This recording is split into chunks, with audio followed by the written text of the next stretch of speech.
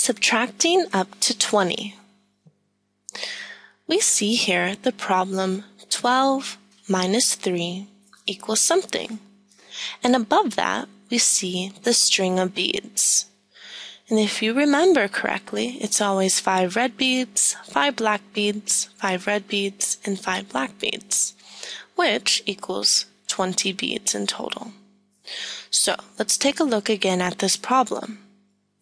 So we see this 12 here. So now let's find 12 beads above us.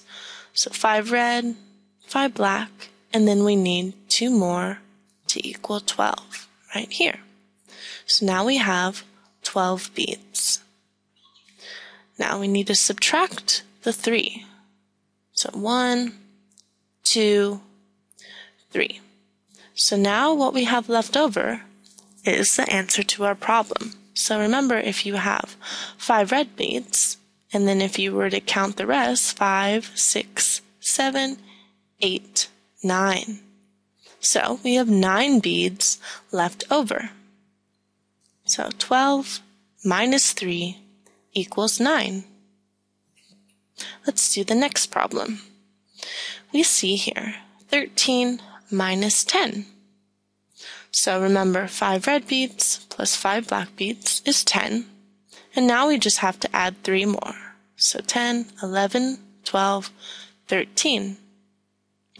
Now we have to subtract the 10 and maybe you already know the answer to this problem, but let's just make sure with the beads.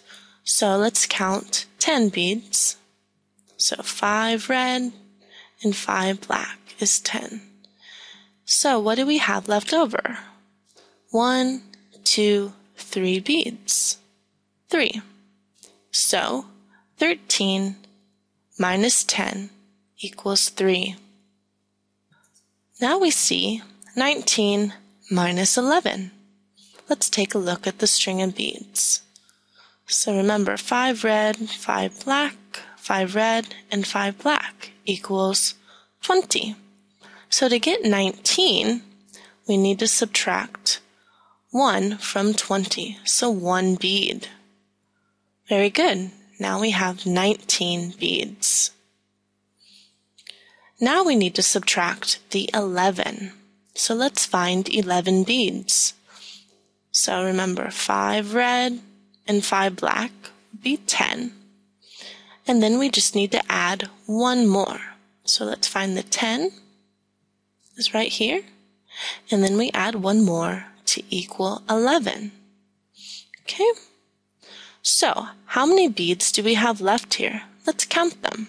Okay. One, two, three, four, five, six, seven, eight. So 19 minus 11 equals 8. And you can solve this problem in many ways. And it's very useful to have your own string of beads at home. So, let's just do one more problem for the fun of it. Alright, so let's do the problem 20 minus 9. Now, we already know that the whole string of beads equals 20, right? And that 5 red beads and 5 black beads equals 10. If we subtract 1 from the 10, it equals the 9. We don't need to count everything, but let's mark where 9 is on the beads. Yes, right here how many would we have left over? So we have five black, five red, and then one more bead. So 10 plus 1 equals 11. All right, great job solving these problems. Best of luck solving your next math problems.